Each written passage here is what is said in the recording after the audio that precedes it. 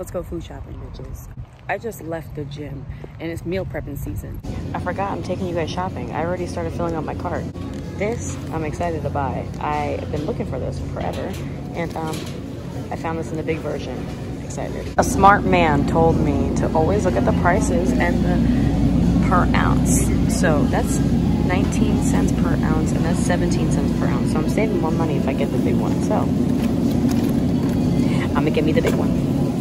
All right, I did a horrible job showing you guys, but it's all done. I'll show you what I got for my meal prep. Now, I don't know exactly what I'm gonna do. Like, I got the ingredients and I have ideas. Like, I wanna do a bowl or like sandwiches and stuff because I got the bread here, but we'll figure it out as the week goes on, okay? I got me some protein yogurt, you know, 17 grams of protein per serving. These are bomb. These are overnight oats uh, that are like already, ah! All you gotta do is fill up the line right there with either water or milk of your choice and you're groovy. I tried cinnamon roll for the first time a couple days ago. Delicious. And I love the apple cinnamon one. Bomb. They do have like a peanut butter uh, chocolate one. I'm not a fan of that one, but these two right here, these are good. I got honey because I'm trying to make some honey chicken.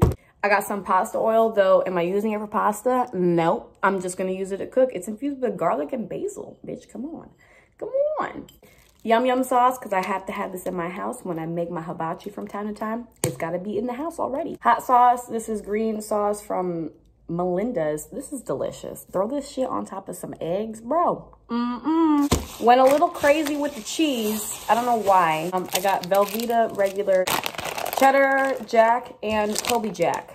Got a big ass bag of potatoes. And then I got me, bro, this is the first time I've ever got 99 percent lean, 1% fat. And then some turkey sausage. Uh, this is gonna be for my breakfast and this is gonna be for my lunch. So a bitch is just eating turkey all day. My plan is to make some turkey bowls for breakfast and lunch. I'm gonna do turkey sausage with eggs, like scrambled eggs for breakfast. And then for lunch, I'm gonna do like rice and turkey with like veggies and stuff like that.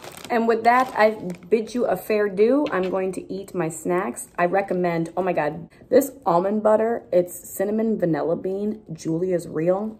Mmm, delicious. With these, bomb. They're so good. But all right, I'm gonna go. Bye.